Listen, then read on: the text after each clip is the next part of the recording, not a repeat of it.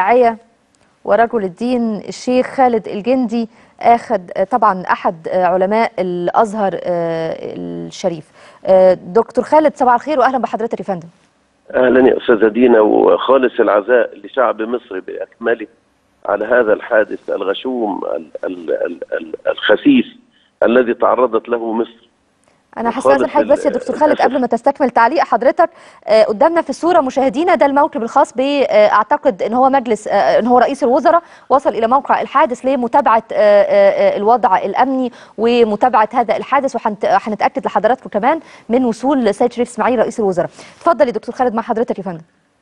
أكرر خالص العزاء والأسف لهذه المصيبة التي حدثت في مصر.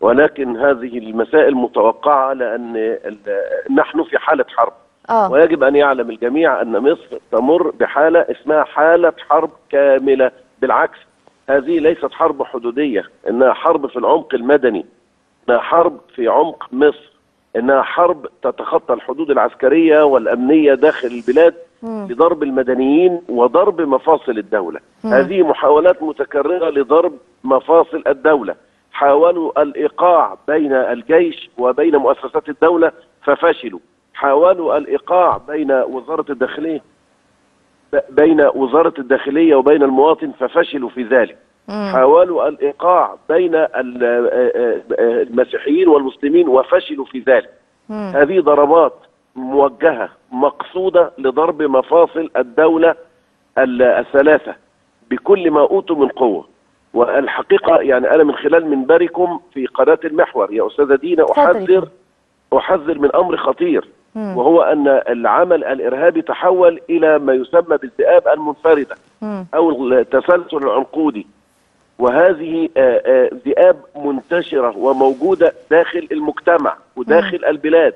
لها انتماءات آه، مخربة وانتماءات عدائية لمصر. بتتطلب من الجميع أن ينتقل المفهوم الأمني من ال- الأمن إلى المواطن العادي.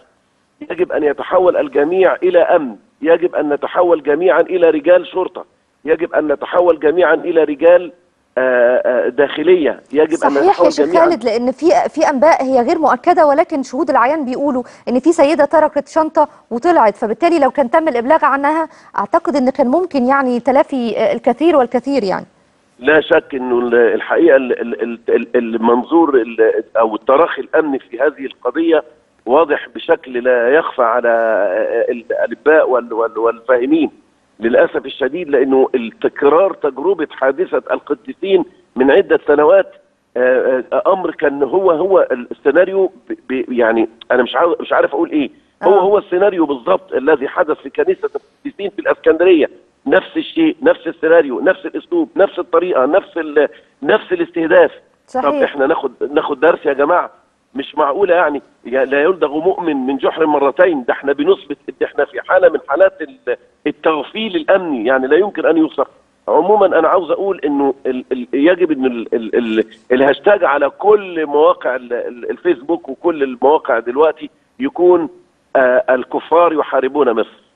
ده يكون شعارنا كلنا دلوقتي. الكفار يحاربون مصر. الكفار يحاربون مصر. في. كفار بيحاربونا بيحاربوا بلدنا. بان لا هيخلوا لا مسلم ولا مسيحي لا هيخلوا لا مؤمن ولا كافر لا هيخلوا مواطن ولا كبير ولا صغير ولا طفل ولا امرأة ولا شيخ ولا امن ولا أي شيء. الكفار يحاربون مصر. الكفار أعلنوا الحرب على مصر. هل إحنا قد التحدي ولا مش قد التحدي؟ هل هنقدر إن إحنا نكمل مشوار بناء الدولة الحديثة ولا مش هنقدر؟ هو ده السؤال اللي موجه لكل مواطن. هنقدر نتماسك ولا مش هنقدر نتماسك؟ لابد من دفع ضريبة من الضحايا من الجانبين من كل إنسان مصري. كل إنسان مصري هدف. كل إنسان مصري دلوقتي هدف لهذه الذئاب ال- الكريهة المنفردة التي لا تؤمن لا بدين ولا بملة ولا بمنهج ولا بأسلوب ولا بطريقة إلا اثاله الدماء وإلا نشر الذعر وإلا ودي كانت الحقيقة الرسالة الموجهة من السيد الرئيس لجميع أفراد الشعب. بنقول يا جماعة خدوا بالكم هناك محاولات لنشر الذعر بين المواطنين. هناك محاولات لنشر الخوف في قلب المواطن. هو دورة ال- التحدي اللي لازم نقبله. تمام. أنا بشكر حضرتك. شكرا جزيلا الشيخ خالد الجندي الداعية الإسلامي. شكرا جزيلا لحضرتك.